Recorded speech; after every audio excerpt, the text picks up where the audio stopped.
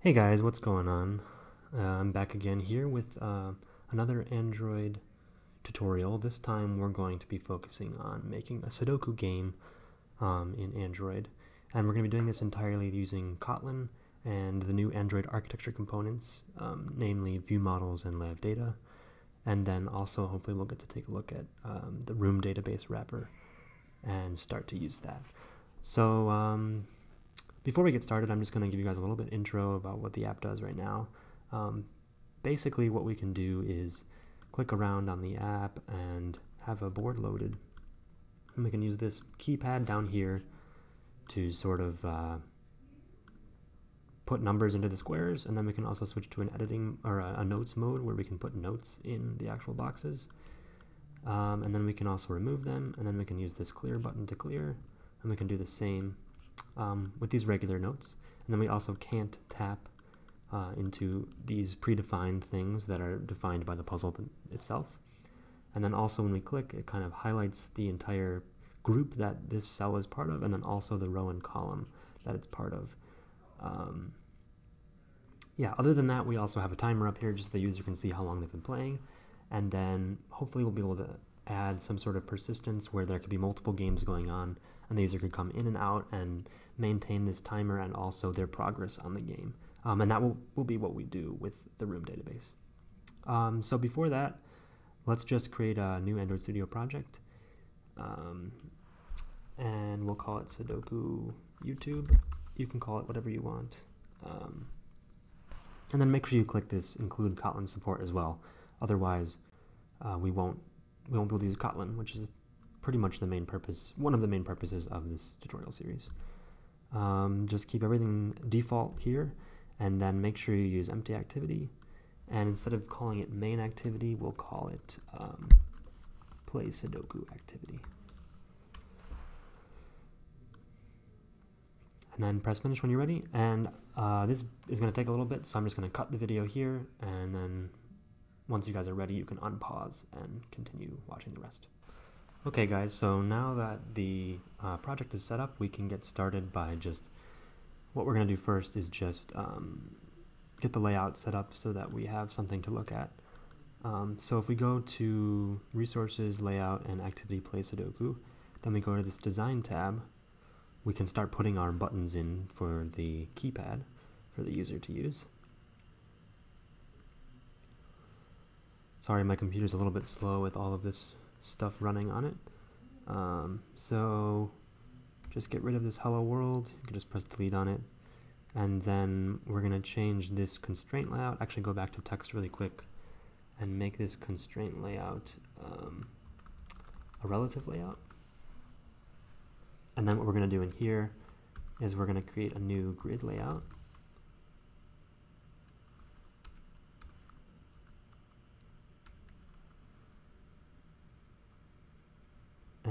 That's good to go. Just when you highlight over this, press Alt Tab, and we can define the um, valid, the things that need to be there. Um, and then wrap content again. Okay, so now that we have this grid layout here, we can go back to the actual um, design editor, and we can bring these guys in here. And before we do that, actually, the grid layout needs a couple more attributes to it. First things first, we need a number of rows and a number of columns.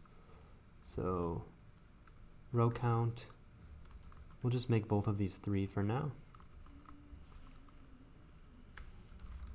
And column count should also be three. So that way we can put our whole keypad in there. We're not going to do delete or edit for now, but we will do that um, in a bit. So actually we're going to go back to this XML because it's a lot easier to use. And we're just going to create all the buttons. So we have the one button, and then we need nine more of these.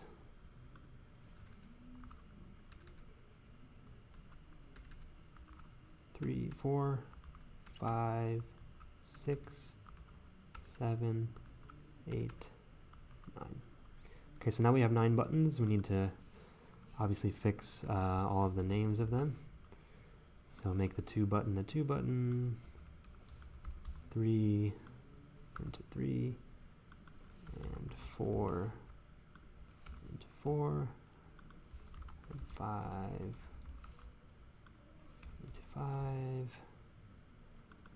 6 nope sorry this one should be 6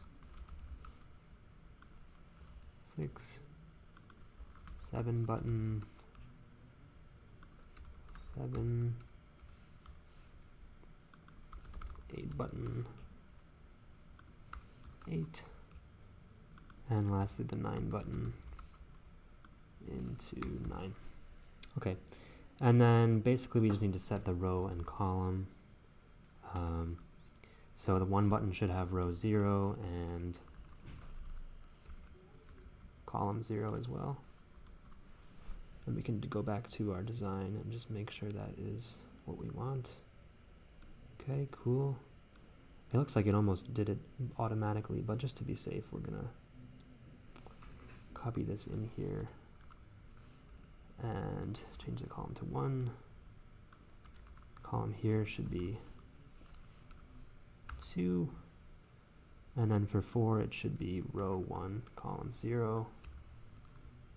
We can copy this. And row 1, column 1, and then row 1, column 2, and then lastly we have row 2, column 0, and then row 2, column 1, row 2, column 2.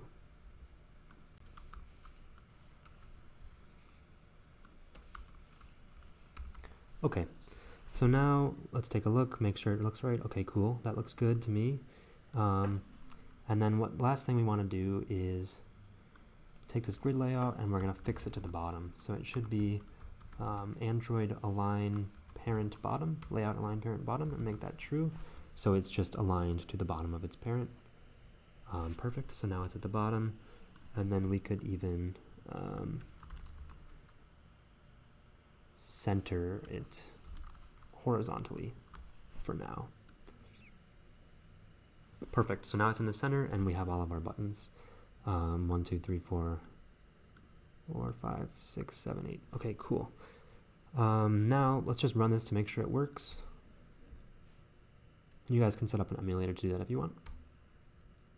Okay guys, here we can see that we have our layout as expected. So that's good. Um, now we'll just continue and create um, a custom view just for us to use. And we'll call this Sudoku board view.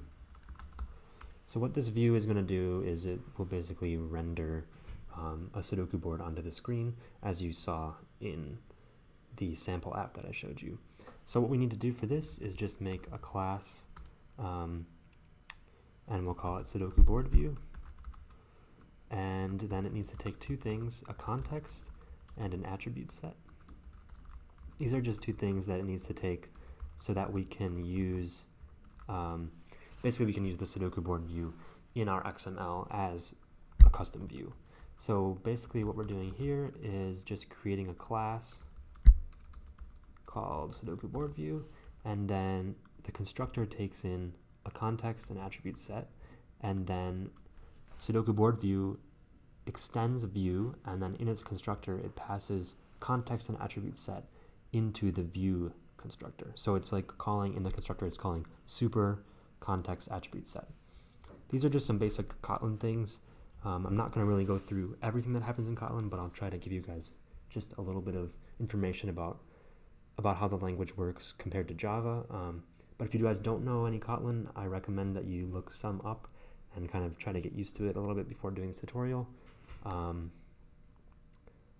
but yeah, it shouldn't be too hard to pick up since the, the syntax is fairly simple. But anyways, so basically inside this class, what we want to do here is just, what we're going to do is we're just going to override the onDraw method, which takes a canvas, um, and basically this canvas allows us to draw whatever would come up on the view. So this is where we'll draw all the numbers, all the lines, things like that. For now, I'm just going to draw a box around the view itself so we can just see that the view is there um, once we put it in the XML. So to do this, we need something called a paint.